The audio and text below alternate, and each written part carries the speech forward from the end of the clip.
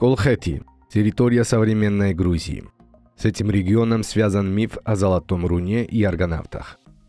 Край издревле известен добычей золота. Упоминания об этом встречаются в работах древнегреческого историка Страбона. Местные жители использовали в золотодобыче овечье руно. С его помощью они собирали крупинки золотого песка, которые приносила речная вода.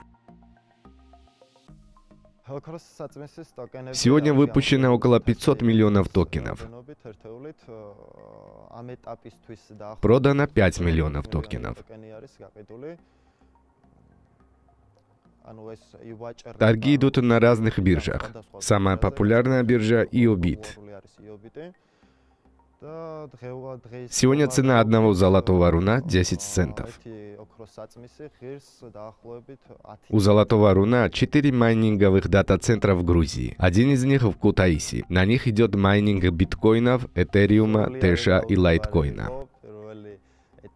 На первом этапе все было непонятно. Ни мне, ни моей семье, ни большинству людей.